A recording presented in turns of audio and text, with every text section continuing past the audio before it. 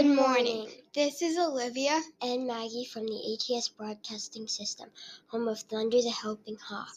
And remember, we are high achieving, always leading, working together, kind hearted students. Go, Go Hanover, Hanover Hawks. Today is Friday, November 1st, 2024. We have no birthdays today.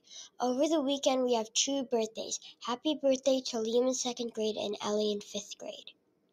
Today's lunch is deep dish cheese pizza, loaded pierogi with bacon and cheddar, PB&J, soft pretzel craveable, Italian craveable.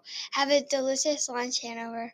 Here's a Friday fun fact. Did you know that not only fall are fall leaves pretty to look at, but they are also good luck too? Who knew? Here's your sports report. The Eagles and Commanders are moving in the right direction in NFC East. Dallas and Giants, not so much. Penn State continues to get things done in football and volleyball. Way to go. Be sure to practice Habit 6 Synergize. Together is better. Please stand for a moment of silence.